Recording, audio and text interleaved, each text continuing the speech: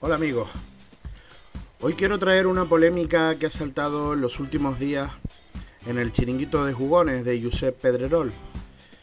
Eh, como sabéis, en la previa de la pasada final de Copa del Rey que jugó el Madrid contra el Barcelona, Josep en su programa llevó al, al gran Nacho Sierra con su perro, su Doberman Ancor, para que en un gesto gracioso, porque a mí me pareció un gesto gracioso, para que adivinara el resultado y además adivinara quién iba a ganar esa final.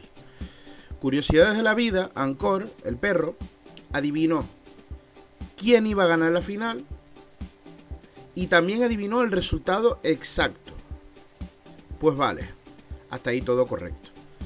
¿Qué pasa? Que en el programa de la sobremesa que dan en la sexta, sapeando, el iluminado, para mí el friki de Fran Blanco, pues en tono de humor también, pero con picaresca, se puso a criticar, buscando solamente la polémica, el gesto que había hecho Josep Pedrerol llevando al perro y a, a Nacho Sierra al programa. Bueno, Giuseppe en este sentido no le contestó, pero ¿qué pasa? Fran Blanco siguió buscando la polémica. De todas maneras, antes que nada quiero ponerles el vídeo donde Ancor, el perro, adivina quién iba a ganar y el resultado exacto. Se los pongo y ahora sigo pues contándoles un poco de la polémica. ¿Listos? ¡Ya! ¡Vamos!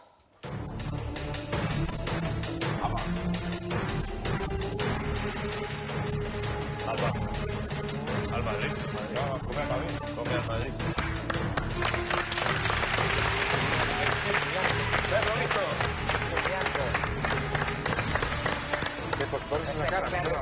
Ahí. El bien. Madrid ganaría la final de la Copa del Rey. Vale, y el Madrid marcará, a a ver, ¿cuántos? ¿Cómo a ver. hacemos? Ancor, ¿cuántos goles va a marcar el Madrid? Dos. Dos. Más, más, más. Angor, más. No, no, no, Dos. tranquilo. No, tú no Bien. diez. ¿Y cuántos goles va a marcar el Barça? Pues Dos. Pues como podéis ver en el vídeo, el perro en un gesto gracioso, pues no solo adivinó eh, quién iba a ganar la final, sino también adivinó el resultado exacto. Algo gracioso, todos sabemos que estas cosas son al azar, son cosas de la suerte, igual que el Pulpo Bowl en el pasado mundial de Sudáfrica, y bueno. ¿Qué pasa? Que Fran Blanco sigue y sigue y continúa y continúa. Y tanto es así que le obligan a contestar a Josep Pedrerol.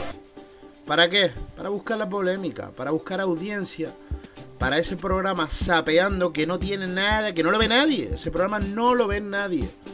Una minoría, porque creo que no lo ven ni los familiares de Fran Blanco, de lo malo que es ese programa. ¿Sabes? Una copia barata de lo que en su día fue Sé lo que hicisteis de Patricia Conde. Pero bueno, que siga la polémica, mm, esto acabará y el chiringuito de jugones no le hace falta estas tonterías para subir su audiencia porque cada día la sigue subiendo más y la prueba está en que en los dos últimos meses es líder indiscutible.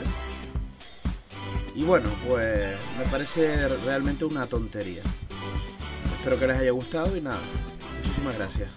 Deportivamente vive, te lo aconseja un amigo, vive deportivamente, porque contamos contigo, contamos contigo Miguel, contamos contigo Manuel, contigo contamos, contamos contigo, con ella también, contamos con Pepe, contamos con Juan, también con Felipe y con Sebastián.